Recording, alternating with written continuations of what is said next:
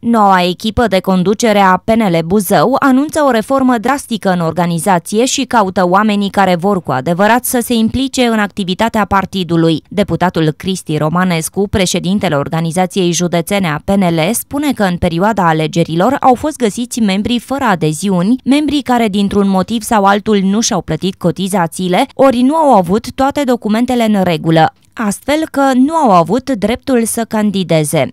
Putem spune că Partidul Național Liberal Buzău, Organizația Județeană Buzău, este pregătit uh, să treacă la reconstrucția adevărată, așa cum uh, ar trebui să, să fie făcută. Am luat deja uh, contact cu 20-30% din organizațiile locale și continuăm acest lucru.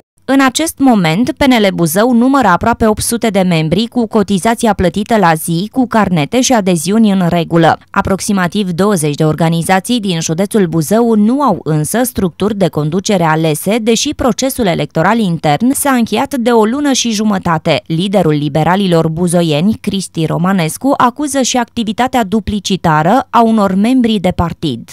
Suntem în jur uh, de 800 de, de membri în tot uh, județul, clar, aproximativ 800 de membri, la cotizația plătită cu absolut tot, cu carnete, cu adeziuni în regulă în toate documentele de partid. Deputatul Cristinel Romanescu a fost ales la sfârșitul lunii aprilie președinte al organizației județene a PNL Buzău.